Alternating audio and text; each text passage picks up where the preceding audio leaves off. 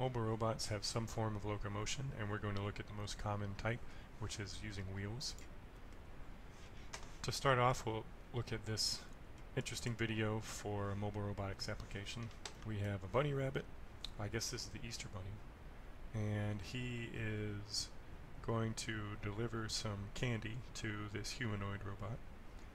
Um, he's excited about his candy, but the bunny rabbit is careless and ends up with all the candy on the floor. So the humanoid is understandably upset and wants to know what can be done about it. Enter the KUKA youBot, which is a research platform on a, it's an omnidirectional robot with a 5 degree of freedom manipulator mounted on top. We'll talk about these kinds of wheels and some considerations for using them. we also have a quadcopter that will identify the objects and it can provide the location of these objects relative to the youBot frame. So the youBot is able to move in the direction of the target and then use the gripper to retrieve them. Look at how the wheels move relative to each other to get motion in all three directions of the plane.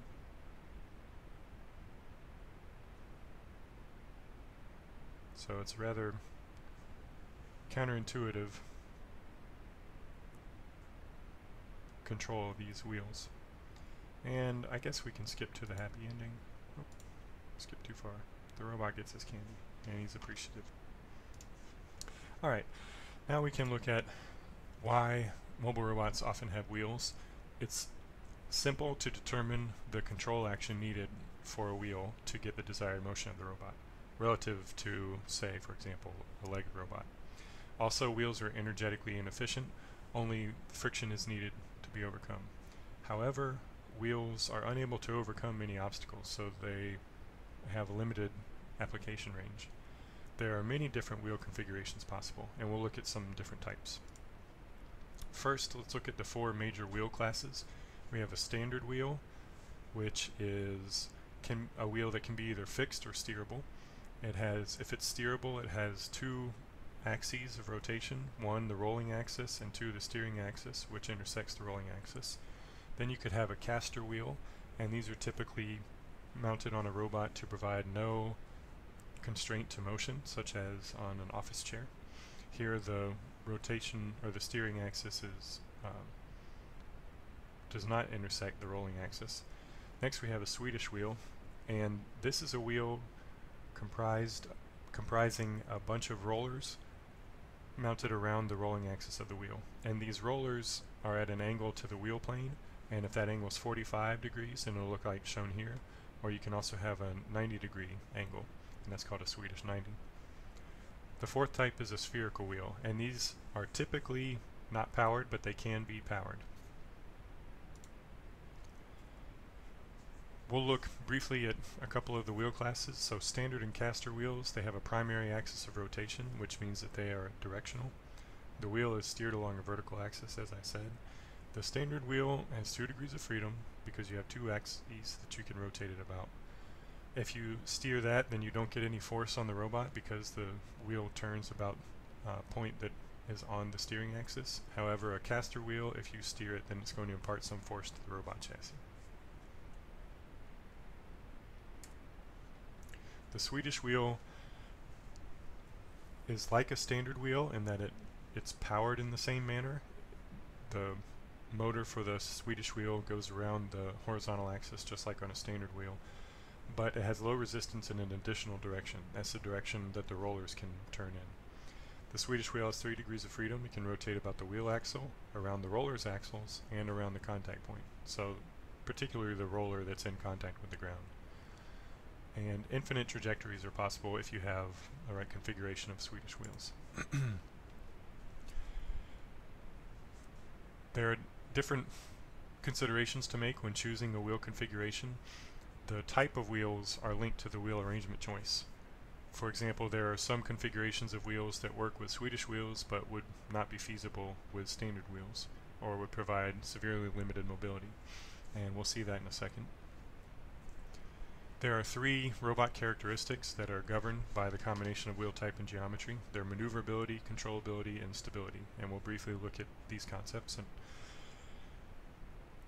here now are some wheel configurations that are used in mobile robotics. You could have one standard wheel that is driven, and you could have one steerable standard wheel that's not driven. Or two independently driven fixed standard wheels. This is a very common configuration called a differential drive where you have two fixed standard wheels and then you could have an omnidirectional wheel such as a caster wheel or a spherical roller to provide stability. This is a figure showing three Swedish wheels and this is an omnidirectional robot. It can move in any of the three directions in the plane. That's tra two translation and one rotation. And here is an interesting configuration called the synchro drive. Synchro because the wheels turn at the same speeds and they're steered at the same rate. So they're always pointing in the same direction and turning at the same speed. this configuration is the one used by the KUKA youBot that we saw in the video. You have four Swedish wheels arranged in a rectangle. And here is the arrangement in a car. It's called the Ackermann configuration. And there are pros and cons to all of these configurations. We'll talk about those in a second, some of those in a second. So stability is one one thing that is governed by the wheel configuration. It's possible to get static stability with just two wheels if you have the center of mass below the wheel axle.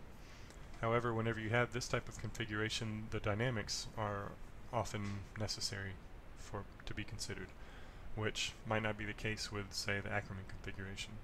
For example, if this robot brakes too suddenly, it could flip over. Maneuverability is one of the other three characteristics. And here are some examples of maneuverability. Omnidirectional robot, like the youBot, it can at any time move in any direction in the plane. It can translate to left or right or spin around the vertical axis. It's common to have less maneuverability than this. So for example, using two differential wheels, Here's the AmigoBot, which is a differential drive robot. You have two fixed st driven standard wheels and one caster wheel. You can see that this has less mobility because if you want to translate in some direction that's not straight ahead, if you wanted to translate, for example, in the direction of the wheel axes, this robot would require a turn prior to translation. And then the third example that we'll look at would be Ackermann steering. It has pros and cons. It's good for stability and high-speed turns, but it has low maneuverability. The direction change, for example, might require a parking maneuver. And then controllability refers to how well one can get the desired motion from the robot. And controllability decreases with increasing mobility. So for a more ro mobile robot, it's harder to achieve the desired motion but you have a greater range of possible motion. Dead reckoning refers to the process of estimating the robot's position based on its starting point and the displacement of the wheels. So for a robot with more mobility, you're going to have a poorer estimate using dead reckoning. As one extreme example, consider a train on a track. If you know the path of the track, then given the train's wheels locations, you have a very good estimate of where it is. Compare that to an omnidirectional robot, which can move in x, y, and theta at any time. There are a lot of things that can corrupt or worsen the estimate for the position in that situation. And also for increased mobility, it's harder to obtain a given line of travel. So if you compare a car versus a two-wheel differential drive robot, just getting them to go in a straight line. A car, you just need to hold the position of the steering wheel constant. A differential drive robot requires that the two independent wheels have the same speed relative to each other at all times. Otherwise, it'll get off track. Here is another robot example. This is called the synchro drive, and as I mentioned already, it's the reason for the synchro drive is because it steers and has the same speed for every wheel. This configuration can't rotate the chassis, so if you want rotation out of the robot, you might need to add a turret. Like on the KUKA robot, it had a um, manipulator mounted to it. So here's a brief video showing an example of a synchro drive. We got this commercial for some gum. Guy threw some paper over his shoulder, uh, but now the trash can catches it. So that's an application for the synchro drive. Skip ahead. So here's the hardware for the wheel, steering, and speed. And there are two belts. One belt is for steering and one belt is for the speed. So with these three wheels, it's driven by two motors.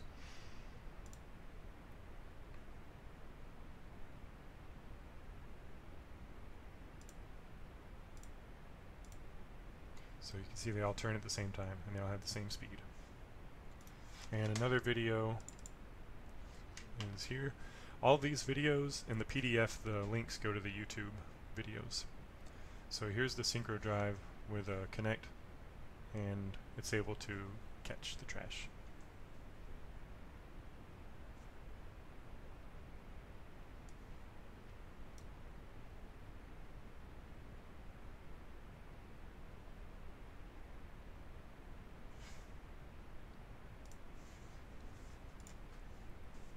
Omnidirectional drive is whenever there are multiple Swedish wheels, or really, that's too restricting. Omnidirectional drive means it can move in any direction, x, y, or theta, at any time.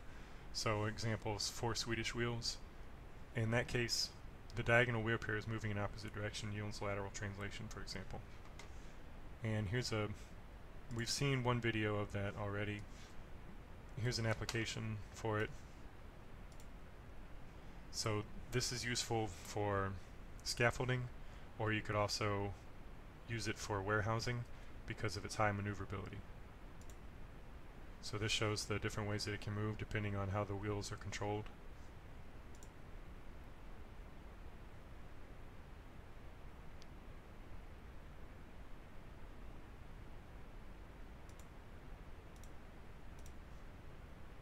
So you can see when they spin opposite directions that you get lateral translation.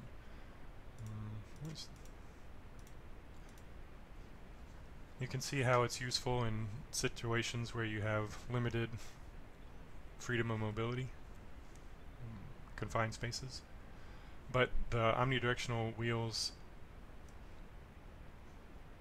have such low clearance that they're only useful for um, environments where you have a smooth surface to roll on.